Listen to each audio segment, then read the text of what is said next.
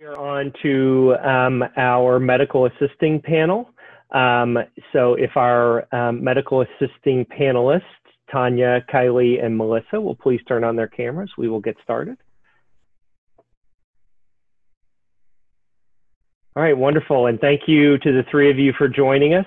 Um, again, for those of you, uh, for the participants just now joining us, my name is Brian Dozer. I'm the president of VitalLink, which is a nonprofit that's been working with Santa Ana College um, to develop this.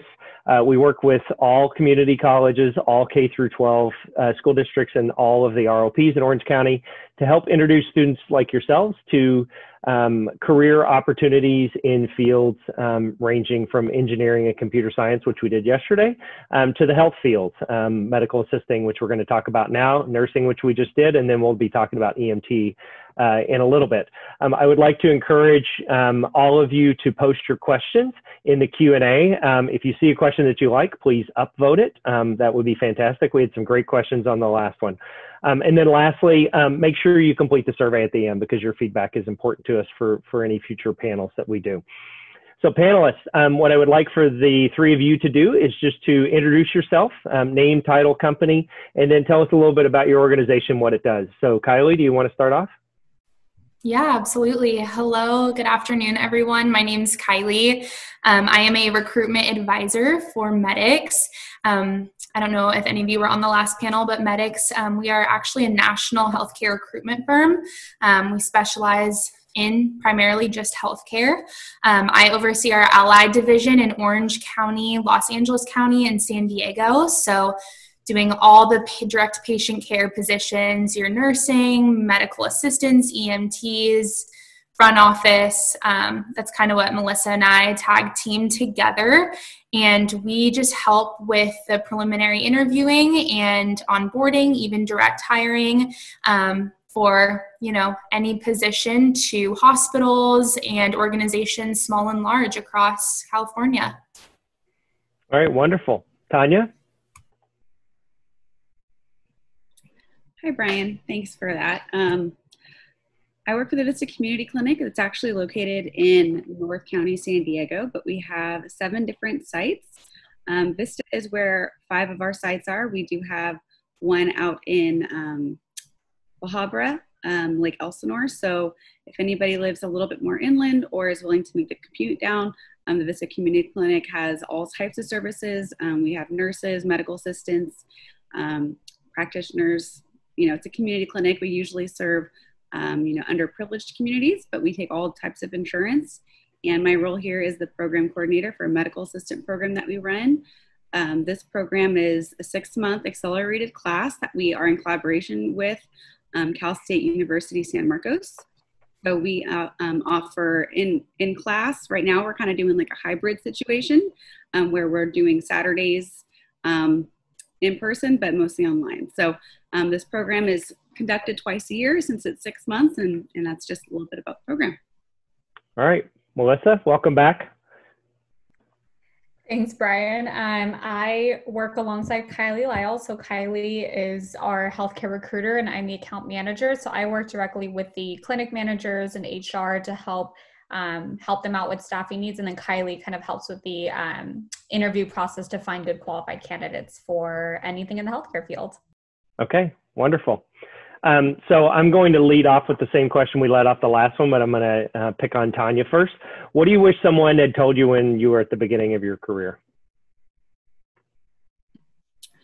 Um, I, I think not rushing it is really important because it's a methodical um, and it's your time and it's an investment in yourself. And if you kind of just jump the gun going into something that you feel or that you think could be a good opportunity, um, you might miss an opportunity that you could have seized otherwise. So I think really doing your research and understanding what your goals are and making sure that you're setting goals is important for your success in the end because committing to something that you really don't have an interest in, um, you know, could hinder you in the long run. Sure. All right. Fantastic. Kylie? Yeah, piggybacking off of that a little bit, I think it's so important to be patient. Nothing comes immediately. So just knowing, you know, it takes time, but with that, it always pays off. And I think the biggest thing for me is just always giving everything you have. Hard work never goes unnoticed. even when you have a job, I still always act like I'm still working an interview and mm-hmm. constantly, constantly proving yourself and giving 110%. Nothing can never go wrong when you're trying your hardest. Okay, fantastic. And Melissa? Um, I'll switch it up a little bit from my last advice, but I would just say get involved. Um, talk to as many people as you can, ask questions, educate yourself, just learn as much as you can about anything in the field, just to expose yourself more so that in the long run, kind of like what Tanya was saying, um, you know, you won't pursue an opportunity maybe that you might not, you know, potentially want to pursue long term. So just really educating yourself on everything or anything you can. Okay. All right. Um, so one of the questions that was sent in by the participants um, when they registered was, what are the specific challenges for um, these occupations today? Tanya, you have any thoughts on that? Um, I can't speak about that necessarily across the board, but I know at least for the medical assistants that we train, a big, um, big obstacle is being bilingual. Uh, since we are located in Southern mm-hmm. California, mm. being able to speak Spanish is really important to be able mm. to provide the right response to our patients and also like making comfort or families feel comfortable because a lot of times, um, you know, it's the kids that are going in to translate for their parents. Um, and children sometimes may withhold information, and if you don't know how to speak Spanish, you may not know what they're saying. And that also kind of goes with, um, I think, being aware of sexuality. That's kind of a big thing right now too. Um, knowing kind of like if someone's has different kind of issues going on, knowing their their background history and medical history is really important, and um, you know properly reading their their patient charts. All right, fantastic. Melissa or Kylie, you have any thoughts on that?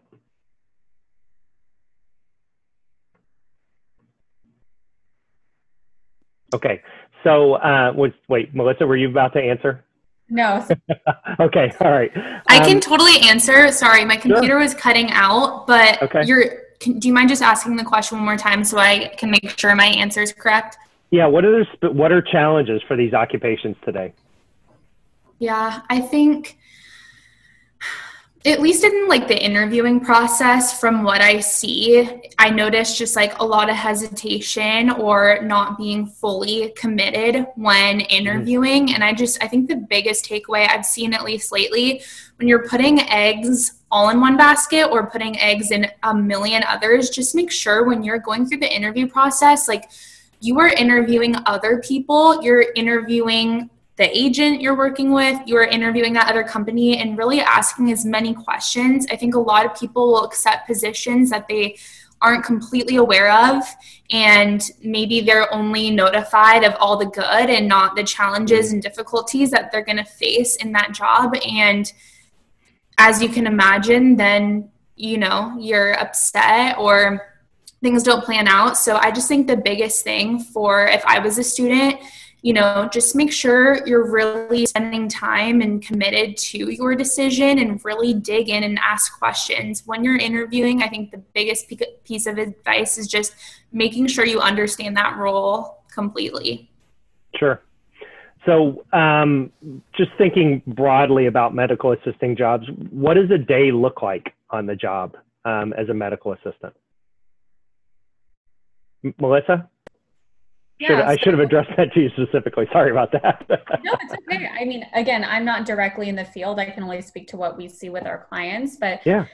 A lot of day to days from what I see, um, you know, when I'm talking to clinic managers, when I'm helping them recruit for another medical assistant, we have to ask them what their day to day duties would look like. And we see similar trends across the board in terms of, you know, for back office medical assistant rooming patients, taking their vitals, doing injections, blood draws is huge. So, um, you know, there's sometimes medical assistance, you don't necessarily learn that when you're getting um, your education, or maybe you only do it a few times and then you don't really do it, um, you know, later. So, I would encourage everyone maybe to, if you're pursuing your MA degree, to um, maybe also pursue like a phlebotomy license or something like that, just to expand your own skill set um, because a lot of clinics, you know, sometimes they require you to have blood draw experience as well. But it's, you know, front office, it's verifying insurances, um, you know, checking in patients, things like that. So very standard medical assistant duties, but that's kind of what we see across the board in terms of daily job duties. Okay. Tanya, do you see anything differently? Anything to add? No, I think she hit that on the spot, Melissa. They do, um, you know, a lot of front office, a lot of back office. Um, at least for our, our MAs, we also require them to do um, immunizations. So they also process lab work, um, a lot of phlebotomy, you know, venipunctures, and um, also, you know, children from pediatrics to adults. So it's not just like a certain age bracket either. Okay. All right. So, um, you know, we, we called this um, employability skills in the age of uh, hiring, hireability and, and employability skills in the age of COVID-19. Um, so Kylie, what effect is this having on the medical assisting industry? Yeah, um, I would say, you know, our regular business clinics, outpatient clinics, things like that. Early on, we saw a huge um, kind of crash.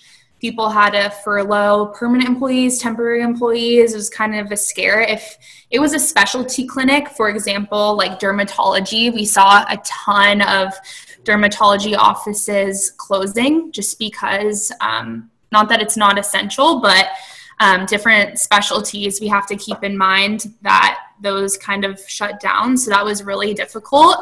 Um, in terms of COVID business, is what we're kind of calling it. Um, there's been a huge spike, as you can imagine, in medical assistant needs, clerical needs, administrative needs, LVNs, RNs for you know rapid COVID positive 19 testing in these COVID clinics that are popping up. And in addition, I've actually been working with an organization since early March, um, responsible for the 12 pop up shelters and recuperative care sites for actually like homeless and underserved communities of Orange County and LA County. So there is quite a lot of opportunity to help. Um, I think the biggest thing is someone who is coming straight out of, you know, maybe a career college. They're looking to get right into a clinic or an office setting. And I kind of see the foreseeable future as they may have, you know, a different experience before getting into that if this COVID 19 business keeps going the way it is. There's a lot of opportunity to help there. Okay. Um, Melissa or Tanya, you have anything to add on to that? And we're actually experiencing like we're we're trying to do telehealth mostly mm. to limit the amount of patients that are coming into our clinic, and also a lot of people are afraid to come into the clinic on top of that. So. Mm-hmm. Um, as we are, you know, having a lot of people, we're not government, so we're not necessarily furloughing, but we are doing like per diem. We have some of our um, employees going, you know, part time, like maybe 20 hours a week um, or less than that. But we also have a demand for MAs just because we want to keep those people on per diem, but we do need temporary, um, you know, full timers. And it's kind of like a weird time right now, but um, their their duties in the clinic are, you know, way less interactive. Um, you have to schedule patients for certain time gaps, maybe 15 minutes. Um, and it's mostly telehealth. So we'll see a lot of our medical assistants just on the phone, um, or you know virtually trying to um, assess people rather than have them come in okay um, what so in in terms of um, trying to get into the field um, how important is are, are, things like internships or experience um, you know one of the questions that we talked about last time that that um, we've talked about across all the panels is you know, how do I get experience without a job because I need experience to get a job? And so, um, you know, any thoughts on that, Melissa? Yeah, I know there are, I don't know specific programs, but there's programs that I've heard of where um, outpatient clinics that we work with will partner with um, mm. medical assistant programs. Will they'll hire them on as externs, mm. um, and that works for. It's kind of a win-win for both because when you hire them on as an extern, they can get experience, and then if they do really well, they might just hire them on as you know a permanent employee moving forward. So I would look into the medical assistant programs that you're applying to and ask if they have any agreements with clinics that are open to bringing on um, new grads or new MAs who who have virtually no experience, and that way they can gain you know real hands-on experience. Sure. Do, do any of you think that COVID is is impacting that? You know, and, and by impacting, I mean making it more difficult to find those opportunities. It might. Um, I'm sure it is. I haven't seen it directly, but I'm sure it is just because um, I'm sure, you know, I think Tanya mentioned a little bit earlier, there's a lot more telemedicine now. So it's mm-hmm. not necessarily working a lot directly with the patients, it's a lot less interactive. So I'm sure that's kind of affecting it. But um, hopefully maybe they're finding a way to kind of implement that still where medical assistants can get some experience. Sure. Um, so one of the questions that that um, that was asked by students was what new or changing technology should students be aware of? I, I, would imagine that right now, especially if telemedicine is coming up, that there are some different types of technologies that they need to be aware of. Um, Kylie, um, could you address that? To be honest, I'm not very well versed in the telemedicine. Okay. I really haven't been working with that, so maybe Tanya can speak better. But um, what I do know just about like this COVID business and what kind of sparked my memory and kind of ideas around what you were saying if someone doesn't have necessarily experience and they're trying to get experience. I know multiple um, you know covid clinics and different organizations in that field they do have openings for maybe someone who's willing to do check-in or who is um, you know speaks another language. Like just open to helping. I know you can gain experience, and there's no licensure or anything needed to help out, and you will get paid. So um, I'd be happy to. Um, I can always put my email in the chat. Mm-hmm. We do have quite a few of those types of positions and it not it may not be hands on they're not going to let you draw blood of course if you're not licensed but um, if you're willing to check in and help out the community absolutely. There's a need for that and there's no no licensure needed. Okay. Tanya any thoughts on that? Yeah i kind of want to i'm going to cycle into these two questions here. Um, you sure. previously asked about how like if you don't have any experience how to get into the field. Mm-hmm. so for our clinic um, you know there are positions that are all you need is a high school diploma um, like a, being a PSR, which is a patient a patient representatives patient service representatives, like a front desk attendant. Um, most of the people that we like to accept into our program, not most, we accept everybody, you know, who qualifies and you know, is a good candidate.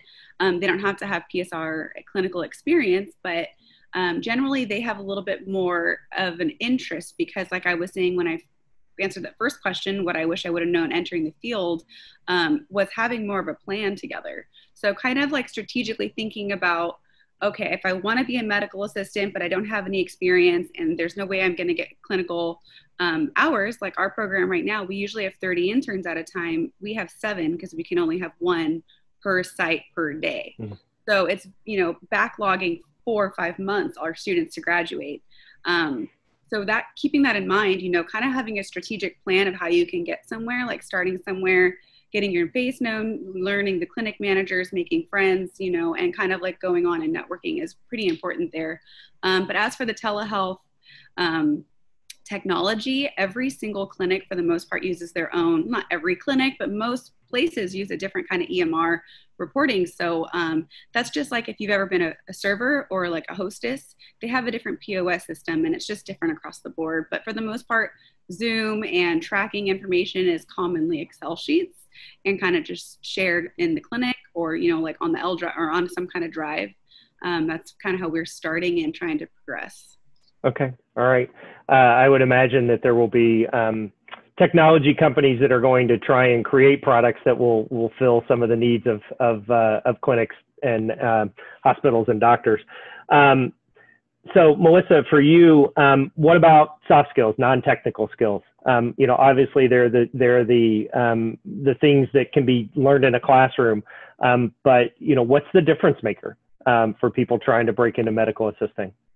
Yeah, definitely just being really empathetic and being caring, smiling, making the patients feel welcome, especially if you're working in a medical front desk office where you are the face of the clinic. You're the first person that, you know, someone who might be feeling sick sees when they walk into the clinic. So making sure that you are calm and patient, understanding that these patients are, you know, upset, angry, not feeling well. Um, soft skills is going a long way, especially now with COVID. You know, people, it, the uncertainty is very scary. And I think it's really important for people to remember to remain calm and be reassuring and um, happy and positive. Um, they're going to go a long way, especially again now with the pandemic and everything. Um, now more than ever, soft skills are very important. Okay, fantastic. Um, Tanya, you have any thoughts on that? Okay. Kylie, you want to add anything? yeah, absolutely. Um, I think a lot of our clients, it sounds really silly, but they really look for someone who's bubbly and outgoing. And I know that's difficult if I get it, not everyone's bubbly and outgoing, but in terms of front office, like you're the first person that they see. So when interviewing, like Melissa said, you know, smiling, bubbly, um, you know, just being friendly and smiling. I think a lot of us forget to smile, especially like in an interview. Even if you're nervous, just don't forget to smile. And then in terms of just, um, you know, like efficiency, being able to multitask, I just think that will set you apart from any other person and bringing up like you know that you're eager you're able to learn things pick up quickly um, i think efficiency is going to be really important especially with covid-19 i think if things continue to be as high of a volume as they are um, just being able to do the job thorough but very efficiently is going to set you apart Okay, fantastic. So you mentioned interviewing. Um, you know, this is one for me that, you know, I'm later in my career. And so um, I sometimes forget that, um, especially younger students have never interviewed. And so um, what are, um, what are, what it, what are some tips or what is some advice that you can give to someone who's going into an interview for a medical assisting job? Uh, Kylie, since you, since you brought that up, do you want to address that? Yeah, absolutely. So, going into an interview, um, I would just always make sure you have your resume and make sure that the interviewer has your updated resume. Um, I think it's super important, in my opinion, to be more in depth than not. Um, I tell any person that I am sending off to an interview with one of our clients is to just go in depth about your experience. I think it's so important that whoever is interviewing you understands all of your experience from A to Z. Pointing out or knowing, let's say, the job description, they need a specific EMR experience or EMR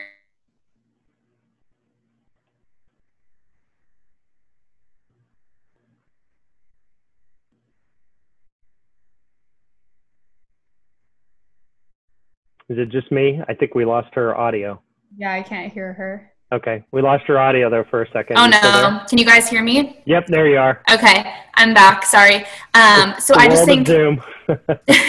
I just think addressing um, what the what the organization is looking for, um, tying it to your skills and your experience, and then I think lastly, um, it's actually more of like a follow up after the interview. Just make sure you're always thanking the interviewer for their time, thanking them the candidates that always stand out to Melissa and I are someone who is following up with an email. Hey, Kylie. Hey, Melissa. You know, thank you so much for this time. I'm super interested. Reminding them again why you're interested in that position and letting them know, um, you know, make sure that they don't need anything else. I think a lot of times, maybe an updated resume or some references, it'll fall through the cracks, and that makes the employer's job 10 times harder. So, just make sure you're really on top of it and always thank them. And I think a follow up email makes you a shining star. Yeah, Tanya, what do you see? Um, I sorry, I got distracted reading the questions in the Q and A section. yeah, sorry about that. What was the question there? So, um, any tips for interviewing? Oh, um, you know, I, I did hear you say, Melissa, um, smiling. Was that you that said that or was that kylie? One of you said that and i think that's super important because in really you know being yourself um, knowing about the the position that you're applying for or the program that you're applying for have at least one question at the end. I don't care what the question mm-hmm. is but i need you to have something to give me because that just shows me that you did research that you care that you aren't just here because i asked you to come at this time so I think just being yourself is really important because if you're just kind of like trying to fit this role of the perfect candidate, it kind of doesn't really set you aside from anybody else. So, you know, wearing a little bit of color or, you know, whatever it is that makes you you, you know, bring that with you and absolutely the resume too. I think that's important. Sure. Yeah. And, and this is, you know, I call this being proactive versus reactive um, you know, in the interviewing process. And, and um, you know, this came up in, in our engineering panel. It came up in our biotech panel. Um, same thing, right? You're looking for people who jump off the page at you. And one of the ways that you do that is by being proactive rather than reactive and just sitting back and waiting for the call to come in, make something happen. And that can be very, very important. It doesn't matter, um, you know, for, for it, it, I had to interview for the president position, and the same thing applied for me as it did for my very first internship at a TV station. Right? Um, those principles hold hold true your entire career. So um, great great points. I, I love that. Um, so one of the uh, one of the questions that just came in was um, how do you apply to be a PCR? I think maybe that was PSR as a high school student.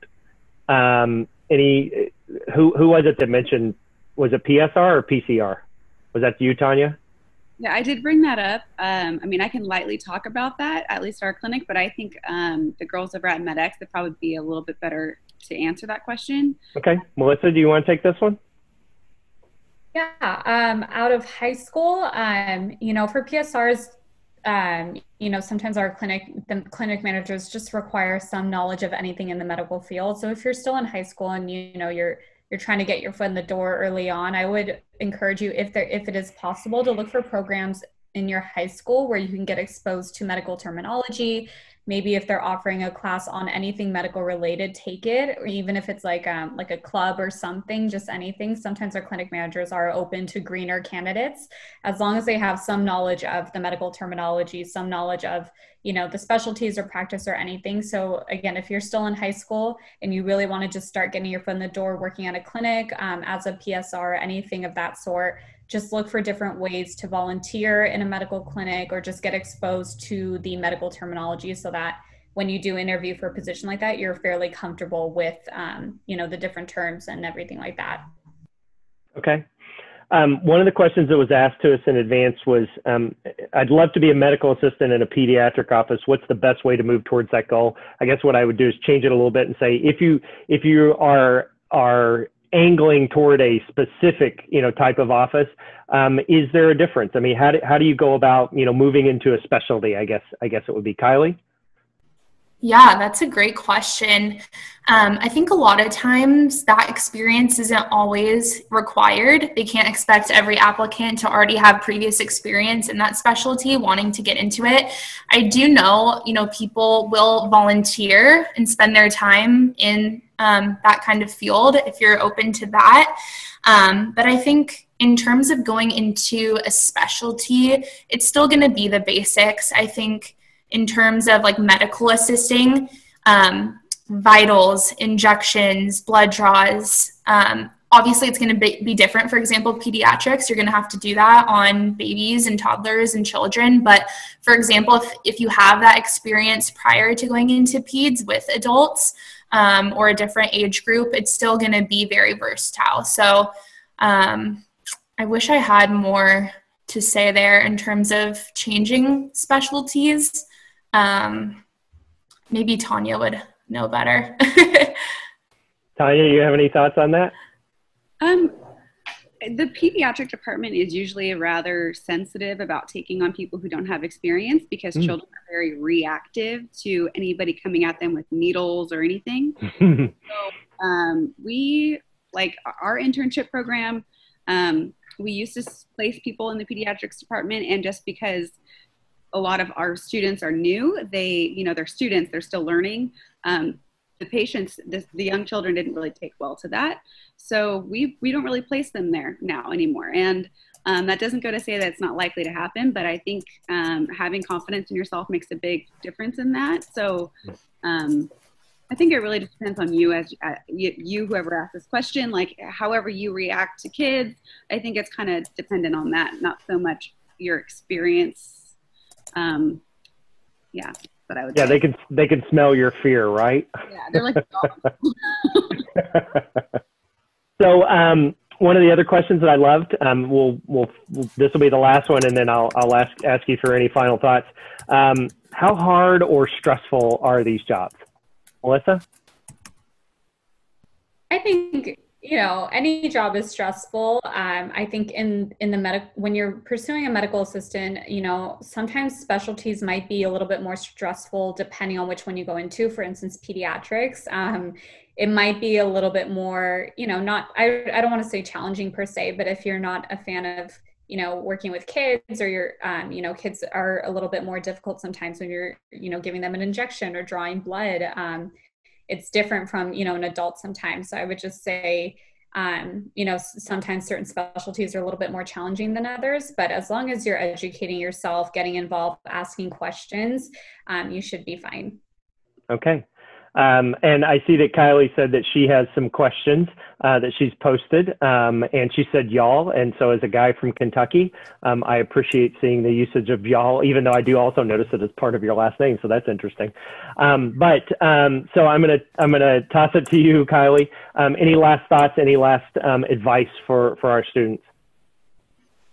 In general, overall, was that the question? Yeah, yeah just you know we're, we're wrapping it up we've we've thrown a lot at them is there yeah. anything that we've missed that you would that, that you think that they should know I really don't. If anyone has any specific questions or just wants to hop on the phone and chat, be happy to do so. I think interviewing and you know finding a job i know people are really overwhelmed and i know that's a full-time job in and of itself and it can be stressful and I just want people to know that just be confident in yourself, kind of like what Tanya said, like you're the only person that can be yourself. So just be confident. If you don't have the experience in licensure, don't think that you're just qualified from any position in getting yourself in the medical field. There's always opportunity. I hire people all the time from a call center or a customer service position that has some interest in medical and they do wonderful. So just always be confident in yourself and in your skills and feel free to reach out if you have any questions and just don't ever give up. There's always an opportunity out there. Don't just expect things to come your way after one or two applications. It takes time, but you know, it'll come with hard work. All right. Fantastic. Tanya, you have anything final to say? Um, you know, I would just say um, you know, good luck out there in your search. Everybody starts where you're at. So if you feel like you kind of get kicked over a few times, like don't let that stop you. Um, you know, everyone's got to start somewhere. So put a plan together and have the confidence in yourself and, you know, try hard. All right. Fantastic. And Melissa. Yes, I said this in the last one. I will say it again network, network, network. Talk to anyone and everyone in the field.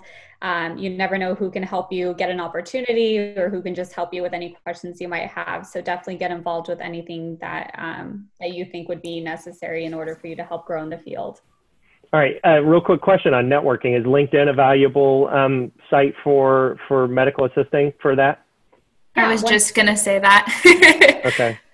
Yes, I think um, you know if you're a medical assistant and you come across a LinkedIn profile where maybe someone's been an MA for 10 years or an MA lead or something, um, I would encourage you to, you know, reach out to them, message them, send them uh, an invite, and message them. Say, hey, I'm new to the field. I would love to, you know, maybe take you out for coffee or in this pandemic, do a virtual, just one-on-one chat, just to get to pick your brain a little bit about your experience in the field. Um, people are always usually more than happy to share their own experiences. So all right, fantastic. Yeah, I think I think a great tip would be to, um, if you're interested, for example, like in pediatrics, you can search that like medical assistant pediatrics mm-hmm. or manager pediatrics and filter your county or location and add people and make the note personal. Hey, my name's you know Kylie. I'm a new medical assistant, or I'm gonna be graduating soon. I would love to just be a connection with you same goes for you know healthcare recruiters like myself. Like i'm constantly posting job positions and that way you can just stay informed and stay connected. I think linkedin people forget how valuable of a resource it is and it's yeah. really easy to find people with the different searches. And if you guys ever need training or help with linkedin i'd be happy to do that for you. All right wonderful. Well thank you very much to all of our panelists. We really appreciate you um, I wish you could uh, hear clapping from everyone, but um, since it's a webinar, it's a little harder to do that. So um, thank you for joining us. Um, I'm going to uh, ask that you turn off your webcams now, and we are going to turn it over to uh, Catherine Emily from Santa Ana College to talk about um, their program in medical assisting. So um, Catherine, it's all yours. Hi, uh, good morning. Uh, thank you to Raquel for inviting me today. Um, I'm going to share my screen. I'll just go through. Um, uh, Raquel, if I could share my screen, I think I'll go with um, a little. Uh, here we go. This is a um, presentation that I do for um, people in the community when I go out and network with employers. Um, there we go. Uh, where I'm explaining a little bit about our program. So we have uh, three faculty uh, Carol Seitz, and we've added Dr. Jose Candelario to our um, team. Uh, we provide year-round programming. We have online courses, we have hybrid courses, we have weekend programming. With this COVID crisis, we've gone to remote instruction, which is we're having classes via Zoom and recorded lectures. We have we call it synchronous and asynchronous instruction. So the work for getting those certificates and that education that's required to work in the healthcare field is is alive and well. So these are some of our program level objectives. We've got communication skills. One of the terms earlier used was soft skills. Soft skills are those things that make you a good interpersonal communicator. Speaking English, reading and writing um, electronically on computers and in charts. Um, how you think and um, critically reason through scenarios, different kinds of patient scenarios that may not be predictable, um, how to work with a diverse community. Um, there's all different kinds of variables that go into play on, on how they all come together for your healthcare career. Um, our pathway is 15 units. The shortest amount of time that you can finish your certificate is six months. So for the students that started with beginning medical terminology this summer, they can also take advanced medical terminology next month with Dr. Candelario. And in the fall, they could pick up the other three courses, which are front office, back office, and insurance and billing. And basically, Merry Christmas to you. You now have a certificate of achievement in December. Most students use two semesters, either fall or spring, to do three classes in one semester and two in another. We have a lot of different um, um, offerings in terms of electives. We've um, added uh, computer applications to the medical office, and that helps with uh, navigating computer-based systems um, and electronic health records that you would see in the front and the back office. We have phlebotomy, which is a one unit certificate of achievement course. Uh, the college also offers CPT certified phlebotomy technician program through our community services. So phlebotomy skills are a high risk skill um, and, and, high demand so that you are able to draw blood in your uh, clinical back office. So um, there's a myriad of um, classes, including the cooperative work experience course that you would use at the end of completing your five certificate of achievement classes. Uh, you're placed in a clinic, you go interview. Um, so those interviewing uh, suggestions by um, our panel were awesome about how to prepare yourself with confidence, even though you may be a little bit deficient in your um, experience. A lot of employers will take that 200 hours of a cooperative work experience course as a one year of experience and get you in. You just need to get your foot in the door. You need to make yourself the strongest candidate you can be as a medical assistant. And that includes you know, getting your CPR, that includes knowing a little bit about a lot of things, like billing. Billing is not my thing, but I know a little bit about billing, um, and that this whole big transition to ICD 10 was a big deal, but people mastered it well. Um, we have um, students who go to work uh, in either the front or the back office. They go to uh, free clinics, they go to the hospital clinics, uh, they go to CHOC, although with the COVID crisis, CHOC basically uh, told our students that they couldn't go, our externs. So out of a group of 20 externs this past semester during the COVID crisis, five, only five, were not able to get to their number of work hours to get units. So they're actually working this summer to make those hours up as clinics are opening up more. The medical assistants have been helping with telemedicine and they have been doing interpreting for family members who uh, speak Spanish and Vietnamese, and it's been a really good function for them to see this new mode of uh, delivery for uh, people to get their healthcare needs met. Um, so it's uh, it's a really vibrant kind of program.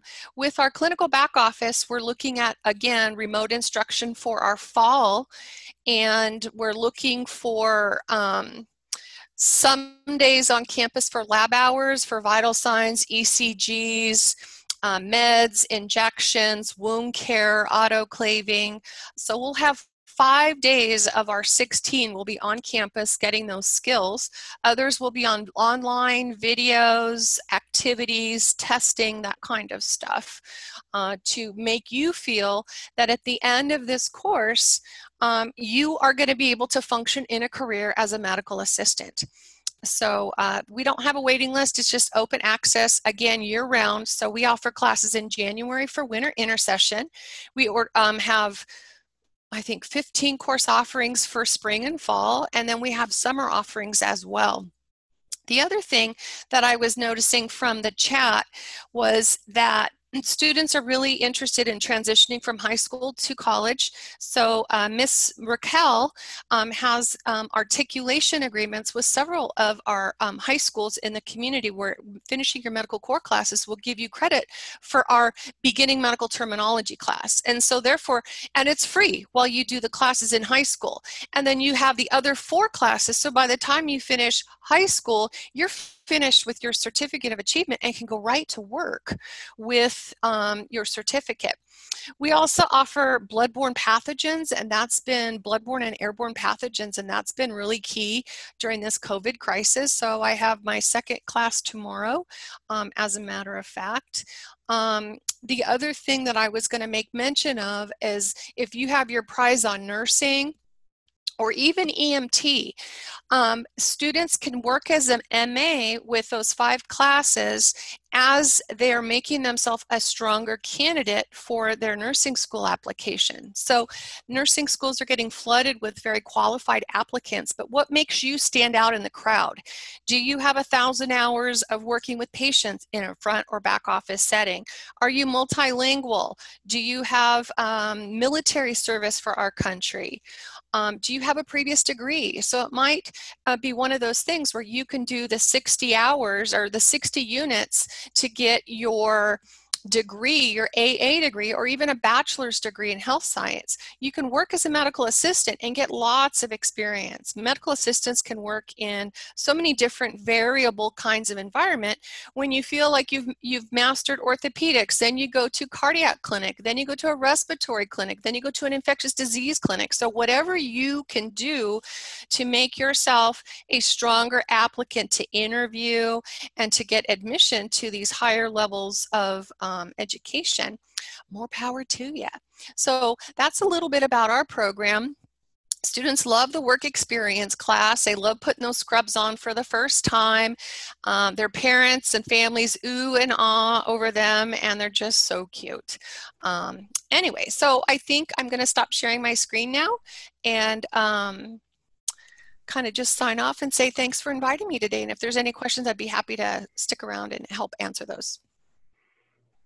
All right, wonderful. Thank you very much for that. Um, that's fantastic. And um, I see that a lot of people are using the chat. That's a great way to get information. Um, I see that Raquel posted her email address in there for people with questions. Um, Catherine, if you want to do the same, you can do that as well. So um, thank you very much for, for that overview.